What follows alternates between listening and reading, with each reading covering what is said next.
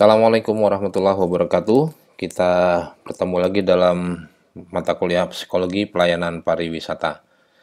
Pada hari ini kita akan masuk materi kedua yaitu how to manage emotion atau pengendalian emosi. Um, tujuan dari pembelajaran kita hari ini adalah yang pertama kita bisa menjelaskan pentingnya pengendalian emosi terutama dalam pelayanan hospitality atau hospitality service. Yang kedua, diharapkan kita bisa menjelaskan beberapa teknik untuk mengendalikan emosi. Dan yang ketiga, karena ini mata kuliah praktek, diharapkan juga kita bisa mempraktekkan bagaimana pengendalian emosi di tempat kerja, mungkin melalui simulasi. Baik, kita bahas dulu apa yang dimaksud dengan emosi. Emosi itu merupakan reaksi kuat atau respon yang kuat dari perasaan terhadap sesuatu atau seseorang. Jadi emosi itu uh, respon yang kuat gitu ya, bisa dari orang atau bisa dari uh, benda tertentu. Uh, secara alamiah kita sudah setiap orang itu sudah punya kemampuan untuk uh, mengekspresikan emosi, ekspresikan emosi dari bayi misalnya uh, bayi sudah bisa mengekspresikan, sudah memiliki emosi, tapi terbatas hanya happy atau unhappy saja, senang atau sedih atau atau tidak senang begitu ya. Kemudian pada umur 2 tahun, bayi sudah mulai lengkap memiliki emosinya seperti dewasa, tapi bedanya ekspresinya masih sangat-sangat uh, terbatas gitu ya. Uh, jadi bayi pun umur 2 tahun, anak-anak umur 2 tahun sudah punya rasa marah, takut, cemburu, sedih, khawatir, dan sebagainya. 2 tahun ke atas itu sudah punya. Kemudian pada masuk ke usia remaja, masuk ke usia remaja tentunya perkembangan emosi ini sudah semakin uh, jelas, hanya kenapa ini dibahas karena kita tahu pada usia remaja itu kondisinya tidak tidak stabil ya. Uh, kita suka nyebutnya namanya ABG itu banyak galaunya ya galau. Jadi unstable state ini ciri-ciri uh, masa-masa remaja. Kita sering mendefinisikan remaja itu di bawah 17 tahun. Walaupun tidak selalu uh, apa namanya kedewasaan itu diukur dari umur gitu ya. Kemudian fase yang terakhir adalah fase dewasa. Dan ini uh, sudah mulai kita mengenal kedewasaan emosi atau intelligent uh, emotional intelligence atau emotional quotient. Jadi semakin orang uh, dewasa, kita bisa semakin lihat kecerdasan emosinya yang ditunjukkan dalam aktivitas sehari-hari. Emosi itu sendiri secara umum bisa kita kategorikan sebagai emosi positif atau negatif. Jadi uh, banyak klasifikasi emosi, tapi untuk kita kita biar mudah kita klasifikasikan begini saja positif negatif dan ini bisa kita lihat di daftar ini bisa dipelajari. Kemudian uh, yang perlu kita pelajari mungkin bentuk-bentuk ekspresinya.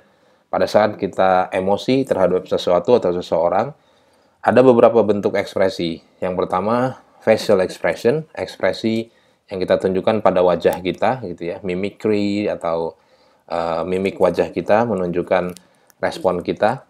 Kemudian ada respon verbal atau suara kita mengatakan sesuatu atau berucap sesuatu atau uh, bersuara ya menyuarakan sesuatu walaupun tidak selalu kata-kata. Ini ekspresi verbal. Kemudian ada uh, tindakan. Tindakan ini dibagi dua. Yang pertama attachment. Attachment ini uh, pada saat kita merasakan satu emosi, kita bertindak uh, untuk melakukan seperti uh, uh, mendekat atau uh, sesuai dengan uh, pancingan emosinya gitu ya attachment nempel. Sedangkan withdrawal ini justru kebalikannya kita menarik diri dari apa yang membuat kita emosi. Nah ini tindakan-tindakan nanti kita bisa lihat lebih detail. Dan kemudian uh, ada yang di luar facial verbal dan action atau tindakan yaitu uh, ekspresi emosi yang tidak bisa didefinisikan.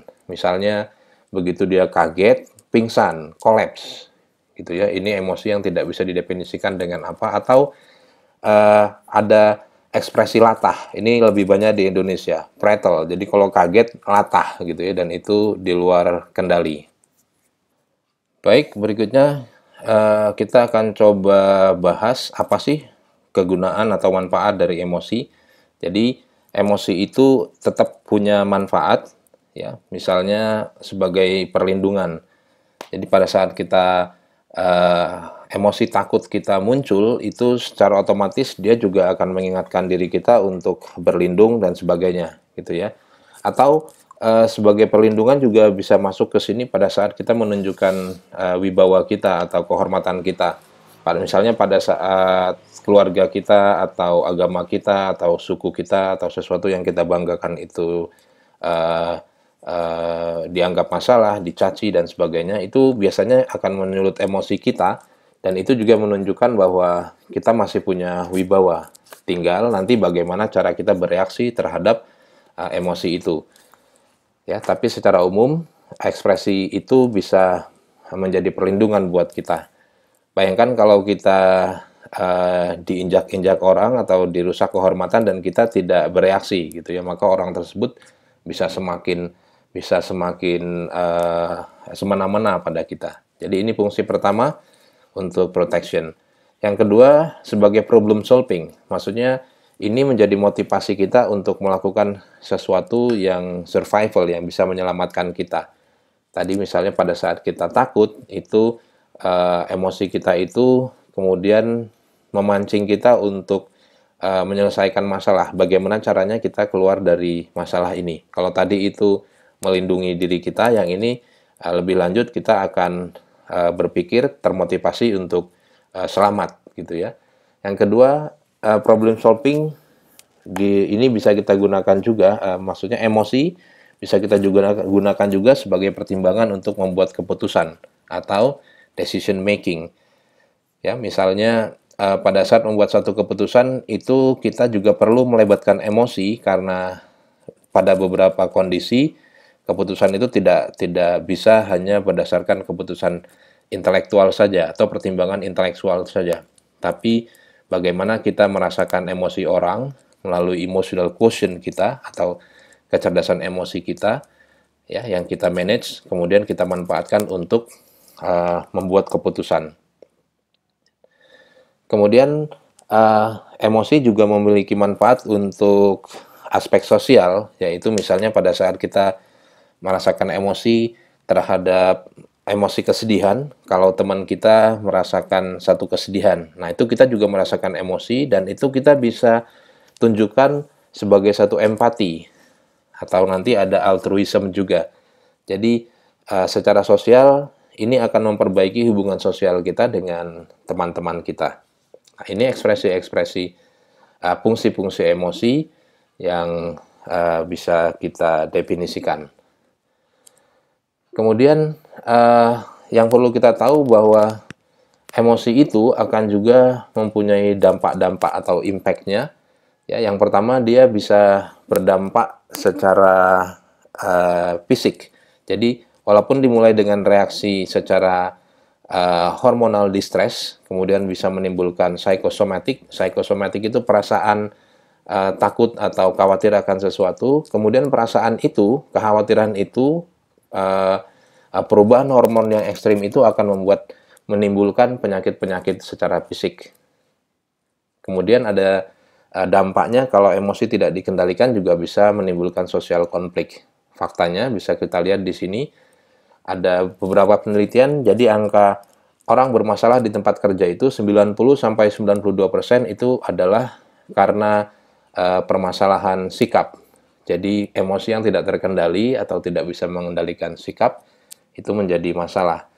Atau Dale Carnegie dalam Carnegie Institute juga menyebutkan bahwa sebetulnya sukses itu uh, lebih ditentukan oleh sikap yang baik. Jadi emosi yang terkendali itu Eh, bisa menghasilkan atau meng, uh, menimbulkan sikap yang baik dan itu menjadi uh, ingredients menjadi bahan utama untuk mencapai kesuksesan ya ketimbang sukses ketimbang uh, aspek uh, kompetensi atau skill yang menurut Dale Carnegie ini hanya bermain di angka sekitar 15%.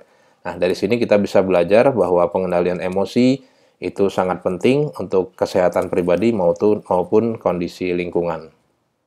Baik, yang menjadi uh, penting untuk kita ketahui selanjutnya adalah bagaimana cara mengendalikan emosi ini uh, supaya tidak menjadi sesuatu yang berdampak buruk baik untuk kesehatan kita secara fisik maupun mental maupun tidak memberikan dampak buruk pada uh, dunia sosial kita, interaksi sosial kita, baik uh, interaksi pergaulan maupun uh, interaksi profesional di tempat kerja.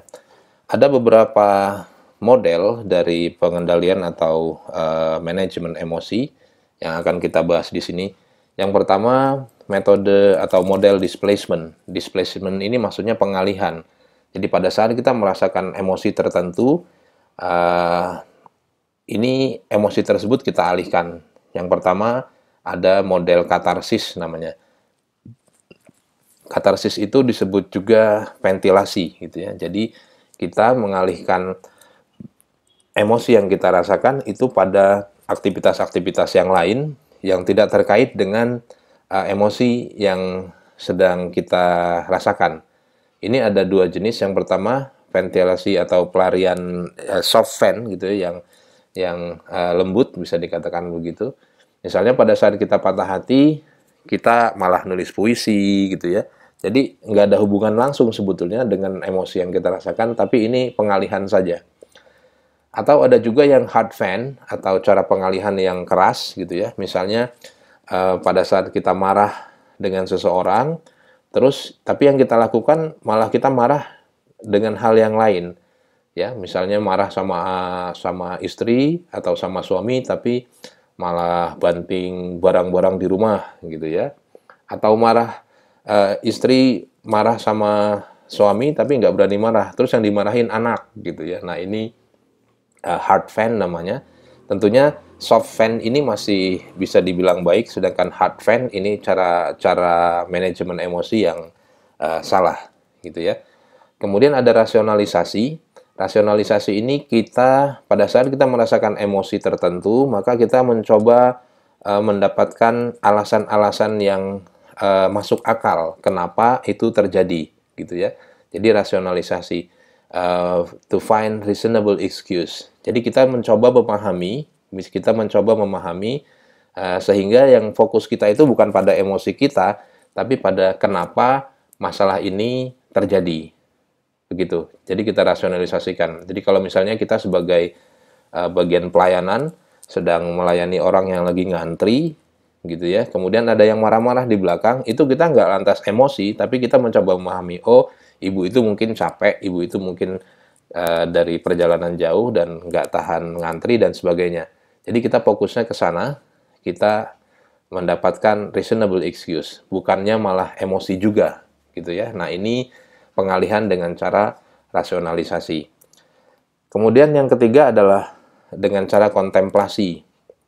Kontemplasi itu pada saat kita merasakan uh, emosi tertentu, maka kita tidak berfokus pada emosi itu, tapi kita alihkan dengan cara berdoa atau berzikir kalau Muslim, berzikir untuk uh, dekat kepada Tuhan, gitu ya. Jadi misalnya kalau yang Muslim, kalau lagi marah banget, itu disarankan untuk baca ayat kursi, gitu ya. Bacanya ganjil.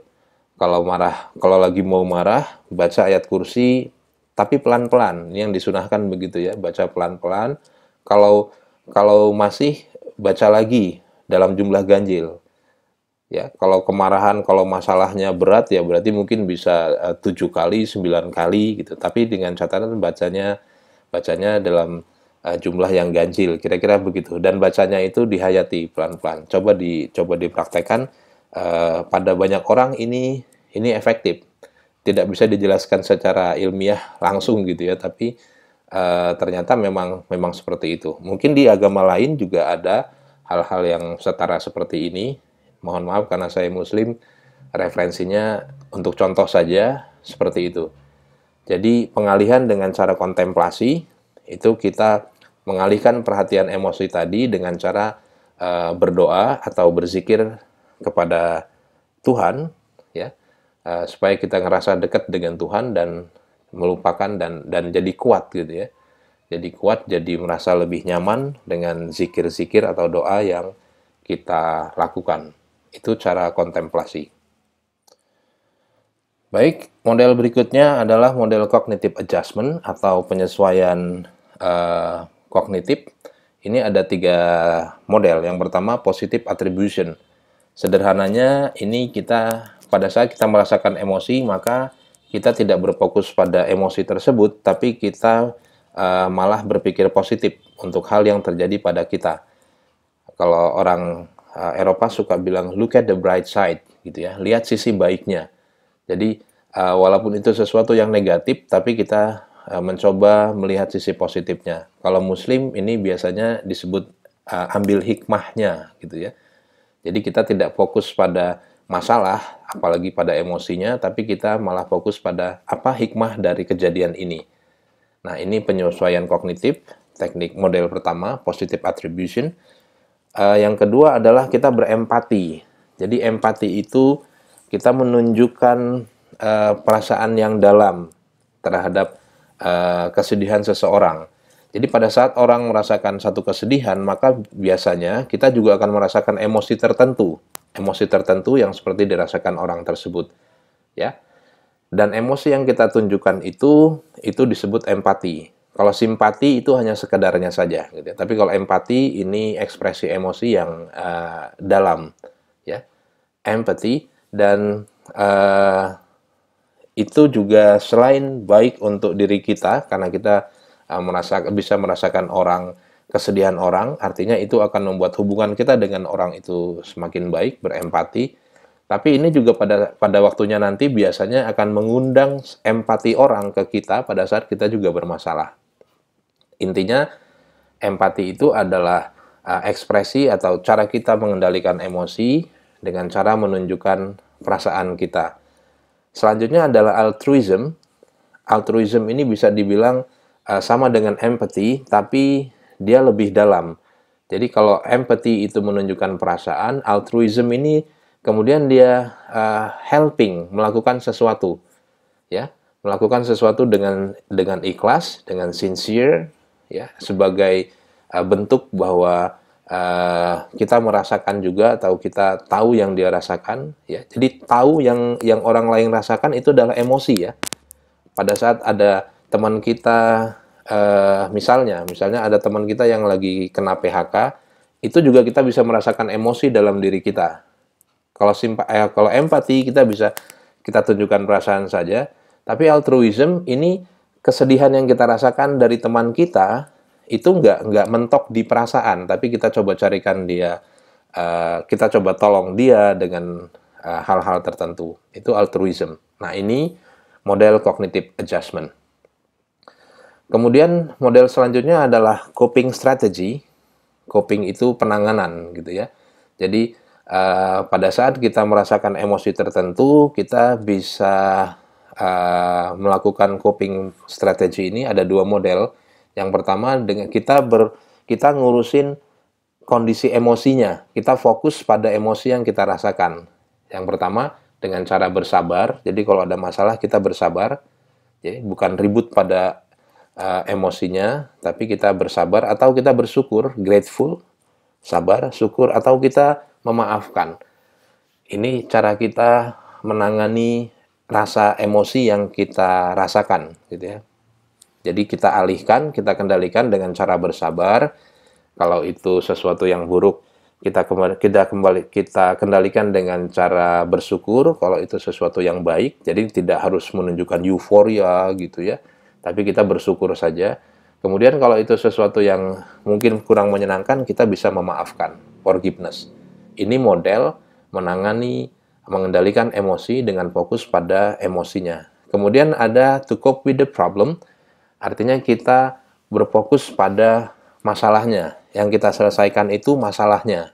Kalau cope with emotional yang kita selesaikan itu uh, perasaan kita. Ya, tapi kalau cope with the problem, ini yang kita beresin masalahnya. Apa yang menyebabkan kita berada pada masalah emosi ini, itu yang kita beresin. Dengan harapan kalau masalahnya beres, maka emosi kita juga bisa uh, terkendali dengan baik sehingga tidak menimbulkan dampak-dampak yang uh, kurang baik baik untuk diri kita maupun dampak untuk lingkungan kerja kita terutama karena kita orang pelayanan begitu Baik, selain dari tiga model utama tadi, ada model-model lain atau metode-metode lain yang bisa digunakan pada saat uh, orang mengalami emosi tertentu. Yang pertama disebut regresi. Regresi ini uh, kita mundur atau turun uh, pada kondisi uh, yang lebih rendah dari apa yang menyebabkan masalah emosi tersebut. Misalnya kalau ada orang yang uh, takut merasa tua, kemudian uh, yang dia lakukan adalah dia bertingkah seperti anak kecil, gitu ya. Jadi dia mundur. Dia sudah tua, tapi karena nggak mau dibilang tua, terus dia dia uh, bertingkah seperti uh, anak kecil atau atau pada usia yang lebih muda dari situ ya. Atau kalau contoh yang lain mungkin pada saat kita mau menyatakan perasaan kita ke seseorang, terus pada saat kita takut, uh, misalnya takut ditolak gitu ya terus kita mundur ah sudahlah uh, sebagai teman saja jadi kita step back daripada karena ketakutan emosi kita takut ditolak terus kita mundur ke kondisi bahwa kita teman begitu. Ini disebut regresi. Yang kedua adalah represi repression. Ini ada adalah cara mengendalikan emosi dengan cara melupakan tapi melupakannya dalam ya motivated forgetting. Kita benar-benar mau melupakan itu. Ini biasanya untuk masalah-masalah yang besar. Jadi gimana caranya eh, pada saat kita merasakan emosi itu terus kita katakan pada diri kita kita motivasi diri kita untuk melupakan itu secara total. Repression. Untuk masalah-masalah kecil biasanya ada teknik atau model suppression supresi gitu ya. Ini uh, Eh, gejolak-gejolak uh, emosi yang bisa kita temporary forgetting. Kita lupakan ya karena memang nggak begitu penting ya. Kita kita lewatin aja gitu. Ini suppression namanya. ya tidak kita anggap penting dan kemudian ada relaxation atau relaksasi dalam uh, bahasa Inggris motion makes emotion namanya jadi uh, gerak tubuh kita itu akan mempengaruhi emosi kita jadi misalnya pada saat uh, pada saat kita sedang emosi itu disarankan kita untuk melakukan gerakan-gerakan lain yang tidak sama dari kondisi kita pada waktu emosi. Kalau yang muslim misalnya disunahkan kalau lagi marah itu untuk uh, duduk, kalau masih marah untuk berbaring dan seterusnya gitu ya sampai tidur. Intinya kita melakukan relaksasi atau merubah motion kita motion itu gerakan, merubah gerakan kita untuk juga mengendalikan emosi kita. Nah, ini bentuk relaksasi, ya. Dan yang terakhir adalah mental enforcement. Jadi, yang kita kuatkan itu mental kita. Jadi, misalnya pada saat kita merasakan takut, itu kita bukan uh, melakukan hal-hal uh, yang berhubungan dengan sumber ketakutan itu, tapi kita berdoa kita sering melihat kalau orang orang merasa takut gitu ya, ketakutan melihat hantu dan sebagainya, terus dia baca ayat kursi misalnya gitu ya, atau doa-doa yang lain. Itu uh, mental enforcement, penguatan mental untuk masalah tersebut ya. Jadi mentalnya yang dikuatkan. Ini cara pengendalian emosi uh, dengan metode-metode di luar tiga metode yang utama tadi. Baik, selanjutnya kita perlu tahu juga faktor-faktor apa yang bisa mempengaruhi emosi kita atau emosi lingkungan kita, orang-orang di lingkungan kita. Yang pertama, ada faktor-faktor yang bisa kita kendalikan secara penuh atau full control. Ya, faktor-faktor seperti uh, personality atau karakter kita atau sikap kita ini sangat-sangat menentukan uh, bagaimana kita mengekspresikan atau mengendalikan emosi kita ya. Semakin matang uh, karakter kita maka pengendalian emosi juga akan semakin baik gitu ya. Jadi ini pertama dan ini sangat-sangat tergantung pada kita sehingga disebut sebagai full control management. Jadi uh, kita yang mengendalikan karakter kita. Yang kedua uh, emosi juga berhubungan sama intelligence atau tingkat kecerdasan kita. Um, misalnya kita memiliki pengetahuan atau pengalaman untuk berhadapan dengan kondisi tertentu, maka itu akan mengajarkan kita untuk bereaksi, untuk mengendalikan emosi dengan lebih baik. Ya, kalau kita sudah belajar tentang pengendalian emosi, tapi pada saat kita merasakan emosi, nggak bisa kita terapkan ilmu kita, ya berarti belum dapat ilmunya. Atau mungkin kita pernah merasakan pengalaman uh, menghadapi masalah tertentu, nah pengalaman itu kita gunakan untuk pengendalian emosi pada aspek-aspek yang lain. Ini yang disebut faktor intelligence yang bisa kita uh, kendalikan, full control pada diri kita. Kemudian ada self motivation, jadi um, pengendalian emosi itu bisa sangat dipengaruhi oleh motivasi dalam diri kita. Kalau kita termotivasi untuk bekerja dengan baik, misalnya untuk melayani uh, konsumen kita dengan baik, maka dengan motivasi itu kita juga akan berusaha untuk mengendalikan emosi yang ada dalam diri kita untuk uh, sesuai dengan kebutuhan uh, karir kita, misalnya kita akan mencoba melayani konsumen kita sesuai dengan uh, yang terbaik yang kira-kira dibutuhkan dalam karir kita dan itu sangat di, sangat membutuhkan motivasi yang kuat. Kemudian ada kondisi fisik yang bisa juga kita kendalikan, full control pada diri kita, eh, faktor kesehatan. Jadi eh, apakah kita cukup tidur, apakah kita olahraga yang cukup, asupan makanan juga akan mempengaruhi kondisi fisik yang uh, bisa mempengaruhi uh, emosi kita. Ya, misalnya ada beberapa jenis makanan yang bisa membuat orang jadi lebih cepat emosi atau bahkan uh, di luar kontrol pengendalian emosinya, gitu ya. Uh, kalau olahraga sudah terbukti ilmiah bisa bisa menimbulkan emosi-emosi positif yang baik dalam diri kita. Kemudian yang mempengaruhi selanjutnya adalah kondisi mental atau mental state. Kalau kita lagi bahagia, biasanya emosi itu akan bisa dikendalikan dengan baik dan sebaliknya. Nah, ini faktor-faktor yang bisa kita kendalikan dari dalam diri kita. Selanjutnya ada faktor-faktor yang uh, partial control atau tidak bisa sepenuhnya kita kendalikan, walaupun ada juga peran kita. Yang pertama umur. Umur akan sangat menentukan juga bagaimana seseorang mengekspresikan atau mengendalikan emosinya. Tadi di awal kita sudah bahas, kalau anak-anak, bayi di bawah 2 tahun ya cuman itu aja, itu aja emosinya. Happy, unhappy. Remaja, lain lagi. Semakin dewasa, semakin berumur, biasanya berubah juga. Gender, jenis kelamin juga mempengaruhi, ya. Uh, mana yang lebih emosional misalnya, wanita atau pria, silahkan dicari uh, faktanya. Tapi yang jelas gender mempengaruhi emosi seseorang. Kemudian momen juga akan mengaruhi. Kita sedang ada di uh, jam berapa, hari apa, acara apa, itu bisa mempengaruhi emosi juga. Termasuk cuaca, orang akan lebih mudah terpancing emosi pada saat cuaca yang panas, misalnya ya. Dan lingkungan sosial, ini yang mungkin bisa kita uh, manipulasi, bisa kita uh, kondisikan gitu ya. Teman-teman, beban pekerjaan, setting ruangan, termasuk musik kalau ada di dalamnya. Beberapa jenis musik itu bisa bisa juga digunakan sebagai uh, alat bantu untuk pengendalian emosi. Tapi faktor yang partial control ini tidak sepenuhnya bisa kita uh, kendalikan karena berhubungan dengan aspek lain di luar kendali kita. Oke, okay, itu yang kita bisa bahas untuk pembahasan kita hari ini tentang emotional control atau pengendalian emosi. Thank you and don't forget to subscribe this channel. Assalamualaikum warahmatullahi wabarakatuh.